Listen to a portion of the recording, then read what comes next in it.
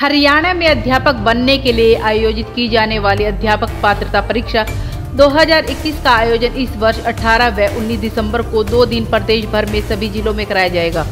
इन परीक्षाओं में हरियाणा विश्वविद्यालय शिक्षा बोर्ड ने ऑनलाइन तरीके से आवेदन प्रक्रिया 15 नवंबर से शुरू कर दी है।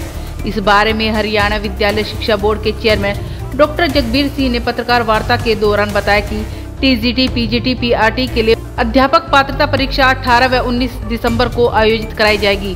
इसमें प्रदेश भर के लगभग तीन लाख परीक्षार्थी व परीक्षा में बैठने का अनुमान है। हरियाणा अध्यापक पात्रता परीक्षा 2021 का आयोजन 18 और 19 दिसंबर को कर रहा है।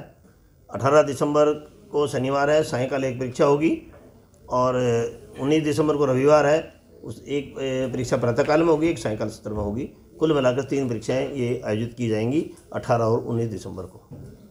इसमें हम पंद्रह नवंबर से और 25 नवंबर तक विद्यार्थियों के अप्लीकेशन लेंगे, जो भी अभ्यर्थी होंगे, ग्यारह दिन में अप्लाई कर सकते हैं और तीन दिन को उनको अपना करेक्शन के लिए दिया जाएगा।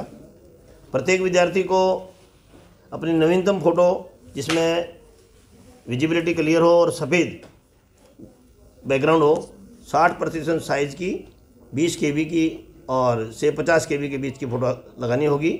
और उसका अक्ताक्षर सफ़ेद कागज़ पर करने के उपरांत साइज़ 10 के से 20 के के बीच का होगा और उसके अंगूठे के साइज़ का भी 10 के से 30 के के बीच में अपलोड किया जाना अनिवार्य है। भिवानी से अंकित ठाकुर की रिपोर्ट।